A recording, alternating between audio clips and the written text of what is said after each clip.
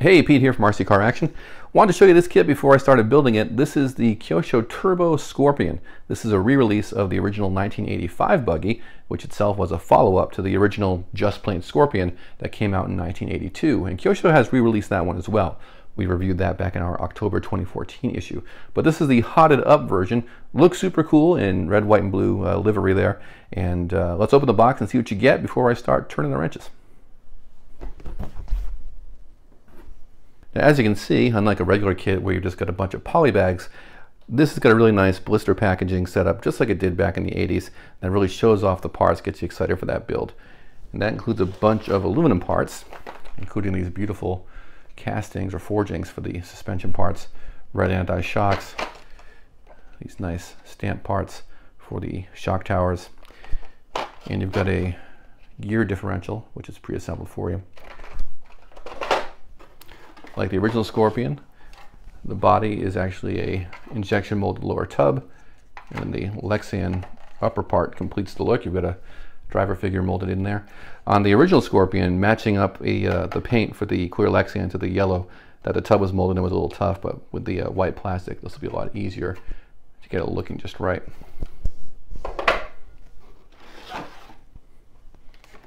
Tires arrive mounted, but we'll need to glue those on there. And these are 2.2 inch rims, which means you can put any modern rubber on there that you like. Uh, stock tires look good and they are a soft compound according to uh, Kyosho.com. So um, no problem with these stock tires. I'm going to leave those on there. But if you do have a vintage racing class you want to run in and you want to run a different tire, the 2.2 inch rims will take whatever you got.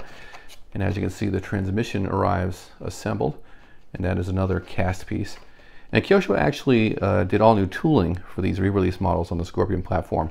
So it looks just like the vintage stuff, but it, it, is actually made from uh, new tooling, and they've made a bunch of improvements. You can put full-on brushless power in these cars without any trouble. Uh, they are not simply uh, old parts or new parts built to the old specs with the old tooling. This is These are actually new vehicles that look like the Scorpions from the 1980s. Let's see what's in here.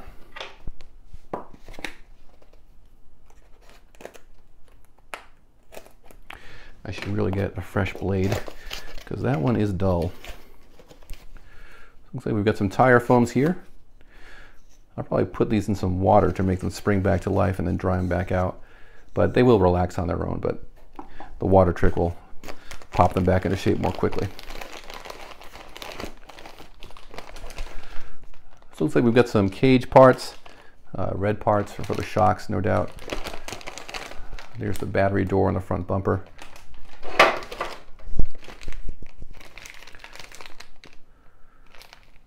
There's your steering arms.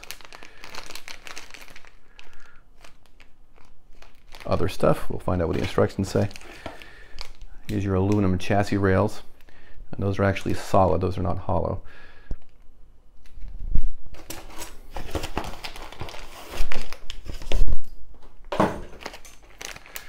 And looks like we've got some more shock parts in there.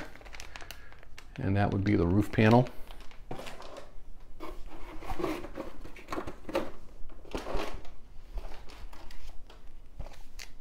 our instruction manual and catalog. Actually, that's just the catalog.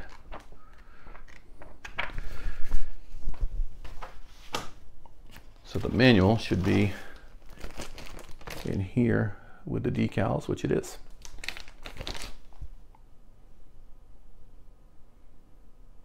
And this will just be a one color job. Decal should bring the white paint job to life just like the box art.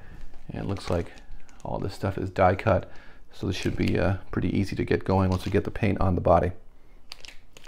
So that's what you get inside the Kyosho Turbo Scorpion. Looking forward to getting this one together. You'll see this in the October issue of RC Car Action magazine. You can also check out RC Car Action Premium. We'll get some photos up of the build and uh, that will be your sneak peek before it actually lands in the magazine. Go to rccaraction.com, check out the premium teaser stories for information about signing up for RC Car Action Premium. And uh, thanks for watching. Keep your eyes peeled. We'll be back with more on the Kyosho Turbo Scorpion.